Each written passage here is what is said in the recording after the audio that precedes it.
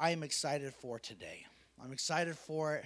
Excited you're here, and uh, glad that we can have an opportunity to still worship Jesus, even when we are blocks or miles apart. So, starting in verse 11, it says, When I was a child, I spoke and thought and reasoned as a child. Makes sense. But when I grew up, I put away childish things. I want to pause real quick before going to verse 12. What is that like? What is it like to think and to speak and to reason like a child? What's that like? I know one thing. I saw a list a few years back and it said how to know if it belongs to a toddler. And I can't remember the list um, in detail, but there was a few that I remember. The first one is if I have it, it's mine. If I used to have it and no longer do, it's mine. If you have it but I want it, it's mine. If I've never thought of it before I saw it, it's mine. If you tell me I can't have it and I should never have it, but I want it, it's mine. The list goes on and on, and as you could probably tell and infer through it, every situation ended with it as mine. Children are selfish by nature. They are. They're not meaning to be rude or hateful, but they just they they want what they want. They're learning how to understand life and how to care for people and, and things. I mean, it's enough to where in, in my son's preschool grade card, part of their pre-K report is do they is with the needs of others. It's something that has to be taught and learned. It's not something that we are innately born thinking about. How do they think and reason and, and process and all these types of things and speak? It's very inwardly focused. But he goes on and says, When I grew up, I put away these childish things. Now we see things imperfectly, like puzzling reflections in a mirror, but then we will see everything with perfect clarity. All that I know now is partial and incomplete. But then I will know everything completely, just as God knows me completely. Today, as we, we go through the, the message, there's a couple questions I want you to think about as we move on. And, and the first one is that, that God put on my heart as I was reading it for Valentine's Day and preparing was Are you partial to Jesus? Are you partial to Him? In our culture today, when you use that phraseology or, or speak like that, you've heard it, where I'm, well, I'm partial to this person or I'm partial to this thing. It's almost a, a connotation of positive thought. It's a positive thing. But what God began to do in my heart and my mind about was that when it comes to Him, to be partial to Him is not a positive thing. He's not okay with us simply being partial. He wants us to be fully committed. He wants us to be completely in, all in, fully there. Partiality is not acceptable. And so we're about to watch a video. And as we watch it, I want you to think of this. What would it look like if we were all just partially committed to growing up?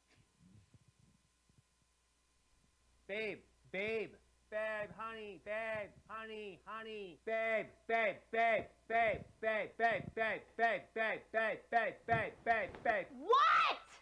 I want to have cereal. I can't find the milk. Oh. Taylor, company's here.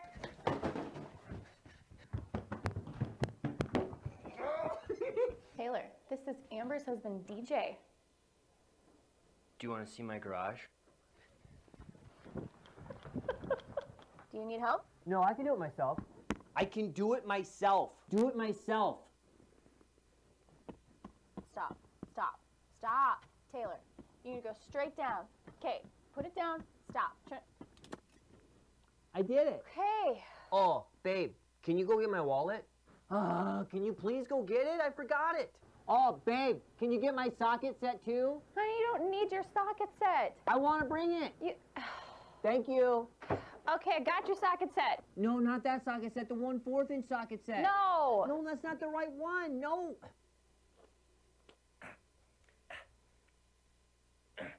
Hey, what are you doing? Nothing.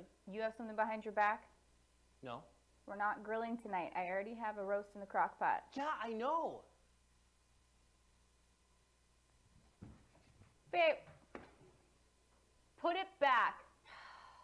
Come on, come on. Got it. Listen, we are going to Home Depot, but you are not getting any new tools. You understand? Yeah, I get it. We're not getting any new tools. I want a bandsaw. Ah! Ah! What are you doing? I'm fixing the curtain rod. Why did you take all of your tools out? I want to use all of them. Nailed it. Okay, honey, I'm done. I'm gonna go watch my show. Do not put that in your mouth. Seriously, stop it. Taylor, you're gonna choke. Oh, Knock it off. I'm still hanging on to it. Okay. Hey, babe, remember that marble? Mm-hmm. I ate it. I know. Taylor. Hey, where'd the guys go? Uh, I think they went outside. They play so good together. And I don't like you, and you're not my best friend anymore, and I don't want DJ to come over ever again. Hey, whoa, what's going on, guys? He took my trimmer, and he won't let me play with my trimmer. Okay. Hey, DJ, is it okay if Taylor has a turn with the trimmer now? Thanks for making tacos, babe.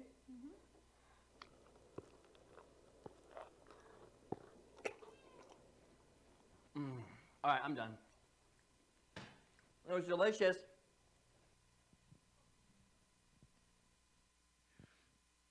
Now, ladies, before we keep going, please do not say that's exactly what it's like. We it, we're not that bad, okay?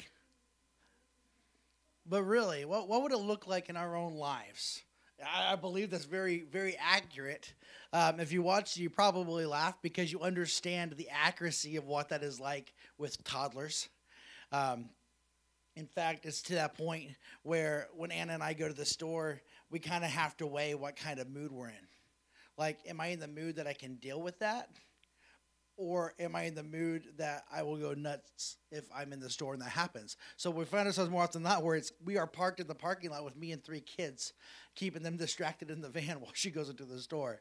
Um, it, it's crazy, it's chaotic, but that's how kids process. That's what their their their mentality and thoughts are like we just went to the store this last weekend and Azariah has been saving up birthday money and Christmas money and he's been itching to be able to spend it. and and like most kids that's normal, but what's interesting is he really wants to spend it on us.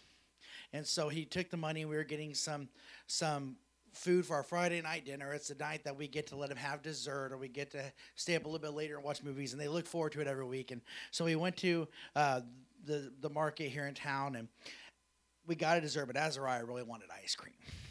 Really wanted ice cream. And so I told him, I said, listen, if you're going to get ice cream, you have to pay for it. So sure enough, he gave me $5. And so we, we put the ice cream on the belt, and Joash broke because it wasn't the ice cream he wanted. And he couldn't process and reason and understand that his brother's paying for it. So therefore, his brother gets to pick it. Uh, and so what do you do? You negotiate with the terrorist is what you do. And any parent who ever says i don't do that you are a liar or you are miserable. That are the only two options. You negotiate with the toddler terrorist and what did i do? I said you get to pick the next thing. And and after this conversation that worked out and he came around and but that is what it's like to think and function and to reason and to live like a child this video was a great description of it. And so, what would it be like if if we were okay doing that? It's absurd. There's no way that we would ever willingly choose to continue to to live like a child in our daily lives. We'd never do it. We'd never stop in the middle of our workplace and fall on the ground and start crying because they told us no and we couldn't have our way. That wouldn't work. We might pout and mumble on the way out the car as we go to work because we're sick, but we don't we don't throw huge tantrums. Life just doesn't permit it or allow it. And so because it would never happen, why are we okay living like that spiritually? Why are we okay remaining so partial? Why are we okay remaining so incomplete, so immature spiritually? Scripture even says that we drink milk, but there's a time that we have to eat the meat. There's a time that we have to increase what we're doing and grow. So today's message, we, we as we go forward, is just simply called "No Longer Partial." No longer partial. When will we no longer be partial? So a few more questions that we get going again is that I would begin to think about and, and process through this scripture, through these questions that God was giving me was when will we see everything with perfect clarity? Because he, he says there, he says, now we see things imperfectly, like puzzling reflections in a mirror. But then, then we will see everything with perfect clarity. When is then? When do we see this perfect clarity? And and I've heard my entire life that it's the moment that we we step into the presence of God and into heaven, but I'm not quite sure that's true. I mean, yes, we're going to have perfect clarity at that point, but scripture tells us that God has great plans for us here and now. God has purposed us for something great, that He has given us the authority and the power that Jesus Christ had to do amazing things now. And so I believe that it can happen before we die. I believe it can happen before we step into eternity with Christ. When? When when does that perfect clarity happen and, and what does it look like? What will that completion look like? What would it be to be um, fully knowing everything fully and completely and to be fully known? I want to answer those questions by stepping back to the beginning of 1 Corinthians 13. It's not going to be on your screen, but listen. If you want to keep your Bible open or turn there on your phone or your Bible, you can do that very quickly. But I believe that this scripture has already answered those questions. A lot of times when we read the scripture, we like to break it up because they the the Bible has those nice little like titles over sections, and so we think that that new title separates what was written before and after it from each other, but it doesn't. They go together. So what what is it? What does it mean to, to, to be complete and when will that take place? Well, starting in verse 1 and 13, it says, If I speak in the tongues of men and angels, but have not love, I am a noisy gong or a clanging cymbal. We've heard this a lot over our lives. It's, it's made its way into several songs. If I have prophetic powers and understand all mysteries and knowledge, and if I have all faith so as to remove mountains, but have not love, I am nothing. If I give away all that I have, and if I deliver up my body to be burned, but have not love, I gain nothing. Love is patient and kind. Love does not envy or boast. It is not arrogant or rude. It does not insist on its own way. It is not irritable or resentful. It does not rejoice at wrongdoing, but rejoices with the truth. Love bears all things, it believes all things, it hopes all things, and endures all things. Love never ends. As for prophecies, they will pass away. As for tongues, they will cease. As for knowledge, it will be passed away. For we know in part and we prophesy in part. But when the perfect comes, the partial will pass away. When the perfect comes, well, what is that perfect? When when will we see all things with perfect clarity? Simply put, it's when we learn to love like God loves. When we learn to hold on to what the love of God is. When we learn to embrace what the truth of love is. We, we've heard over and over, probably most of our lives, that the love of God is, is what's called agape love. It is a full love. It is a immeasurable love. It is a perfect love. It, it cannot be built upon or broken down. It is it is inconsequential. It, it's always there. It can't change. And we can never be loved more because we're loved at the utmost. we can never be loved less because it's not based upon our works or who we are. That's godly love. So, how do we see everything with perfect clarity, or when do we see that? When we begin to love like Jesus loves one of the things that breaks my heart about the thought process and the mentality, the the childishness of our na- national culture is when I see things posted that are shared so quickly and, and frequently with praise because it sounds good. And we see things like don't give to people who have constantly used and abused the gift. Don't waste time on ungrateful. But that's not godly love. That's not it. We are so quick to assume based upon patterns when somebody is lying or false or wrong. I heard a quote once that somebody had shared that they had heard from their father. And it said that his father, as a child, had ran into a man who was homeless and needed money, and his father went to give him money. And the son said, Well, why, why would you do that? Don't you know he's probably going to use it for drugs or alcohol? And the father looked at him and said, What he does with the money I give him speaks about my character. But how I respond to a need speaks about mine. Godly love doesn't determine what's needed or accepted or good, it responds. We read here says that love bears all things, believes all things.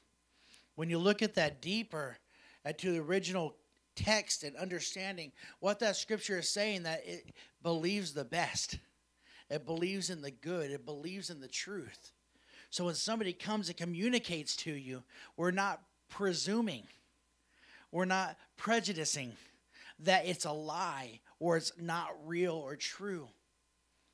We're taking it as word until it's proven otherwise. We are truly believing the best in humanity. Now, that doesn't necessarily mean that we just, you know, go guns ablaze and fully abandon. We still listen to the Holy Spirit and trust in God and follow His leading but we don't believe the worst in people. And that's where we've been as a nation for too long, and where we've been even within the church culture for too long, where we automatically believe the worst in those who believe differently. We automatically believe the worst in those who don't fully align up with how we think or believe or process. But that's not love. It's not love. Never once, even whenever the Pharisees stood against Jesus, when the nation raged and said, Crucify him, did he ever speak against them? And did he ever assume the worst in them? And this is shown and made known when he's on the cross. And he pleads with God the Father and he said, Please forgive them, for they know not what they do. It's a love of belief in humanity. That even in their worst, even in their darkest hour, even in the worst of their moments, he saw the best and saw ignorance instead of hate. Why do we seem foggy or misled or misperceived? Maybe because whatever direction you're going in. Maybe if you're in a season, you don't feel like you're having clarity with what's in front of you. Maybe you're not dealing with it through the love of God. Maybe you're not responding to it with perfect and pure love. Maybe you're seeing a puzzling, foggy mirror because you're doing it your way. Maybe you're responding to the Holy Spirit or to a situation partially. You're partially there. You've given. You've spoken in the tongues. You've, you've given everything you've had. You've prophesied. You've understood mysteries and questions and curiosities. You've you've moved impossible mountains, but everything still seems foggy. It's because you've done it all partially. You've done it with a partial love. You've done it with a love for God, but maybe not a pure love for them. We can't be a church that's partial. We can't do it. We can't be a church that is, is partially fulfilled, partially complete. We can't do it. If we exemplify to the world only a bit of Jesus, but most of us looks like them. We can't expect a change or a difference to be made. We can't expect a world to see a need for Jesus Christ or the church if the church isn't even demonstrating the fullness of Jesus Christ in them no longer partial. At the beginning of the announcements, I read Acts 2 4 through 47. I'm going to read it again Because this is what it looks like to be committed. This is what it looks like not to be partial, but to be complete, to fully know and to be fully known. They devoted. Devoted. Already right there, God checks me. And He checks the church. And He checks the nation. He says, What are you devoted to? Because if He's writing my story about Jesus right now, can they use such a strong adjective for me? I hope and pray so. I believe so. But is there something else that takes precedence? Because if so, my devotion isn't to Jesus. My devotion isn't to his people, it's to my own wants. But they used a very strong adjective. They devoted, gave all of themselves to the apostles' teaching and to fellowship. The church wasn't something that they could just go to when they felt like they needed it or time was available. It was what they built their lives around. It wasn't, I have this event and this activity and this commitment, so someone there, I'm going to make time for the church. But they looked at their schedule and they said, hey, I, I don't have church at this moment. We can meet then. They were devoted to it, to the teaching and breaking of bread, to the to uh, fellowship and to the prayers. And awe came upon every soul and many wonders and signs were being done through the apostle the apostles and all who believed were together and had all things in common devoted and it showed itself it showed itself because when there's a devotion to what we do when there's not a partiality when there's not a partial closing or opening to what God is doing when we are fully there and devoted he moves and transforms and changes when there was devotion and fullness and completion, then wonders and signs showed up. When there was completion and fullness and devotion, then there was growth and intimacy together. It says, and they were selling their possessions and belonging and distributing the proceeds to all as any had need.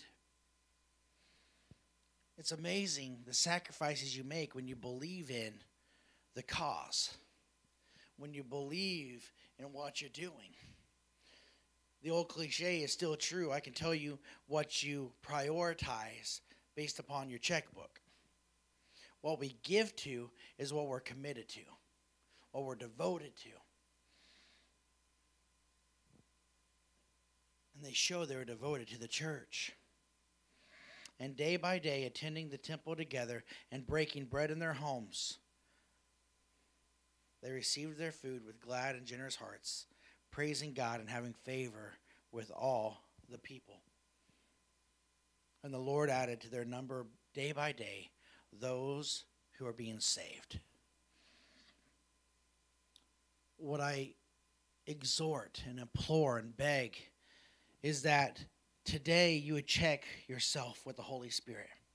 Pray the prayers of David Search me, O God, and know me. Show me. Show me what isn't aligned and isn't devoted. Show me where there's a partiality in my spirit. Show me where I'm not complete and full. And be open to receiving that truth and allowing the Holy Spirit to transform it in your life.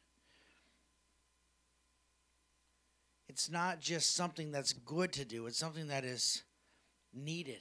It is something that is desperately desired to be done in our lives through the Holy Spirit, by the Holy Spirit.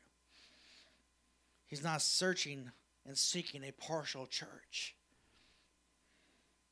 Could you imagine? Scripture says that I'm, I'm coming back for a church who is blameless, stainless, who is white and clean. It's not stained garments. Could you imagine if he came back and half the gown was pure white and the other was stained. It wouldn't be enough. It wouldn't be enough that it was most of it or half of it was starch white. It's a fact that even part of it was misprioritized and misplaced. Don't be stained. Don't be partial. Don't give some of what you have. Don't walk around in the spirit and in life like the grown man who's behaving like a toddler and, and thinking that we're pleasing God and we are mature and we are complete lacking nothing. He's seeking more. He's seeking greater devotion and greater commitment and, and greater uh, sacrifice in our lives. It's what he wants. And, and it's a process, it's growth. It's not going to happen all at once, but when we begin to look and commit to that path and that journey and that process, we honor God and we glorify God, and He'll use us. He'll use us in the completion of who we are becoming. My prayer for a decade or more has been that I would, I don't even care if it was leading, if it was just serving and being a part of a church that reflected Acts 2, then I would have felt that I was giving all that God had given me to do, to be. That has been my heart's cry to be in the Acts 2 church. And I'm going to be honest. New Life isn't an Acts 2 church at this point. It's not. It's not that we could never be. It's not that it's impossible. It's that we all together have some changes we have to make. We all together have some commitments that we need to make, some devotions that we need to change. And he's asking us each to, to reflect to allow Him to search us and bring it to light so that we can make those changes and commitments as they are made known. As they're made known. He wants to use us and He wants to, to transform us and grow us, and He wants to give us rewards in this life and rewards in life to come that can't perish or be burnt up. But if we do these things, if we bring Him sacrifices to be judged, that are done without love, that are done without purity and devotion, they will bring us to nothing. We will have gained nothing, as Scripture says. This morning, I ask you who will devote themselves to no longer be partial? Who will search themselves to reflecting and allowing the Holy Spirit to show them where change and transformation and sacrifice needs to be? It's what God's searching for, it's what He desires, what He requires. And today, out of love, He has brought it before us and said, we need to make some changes. I need to make some changes. No longer partial.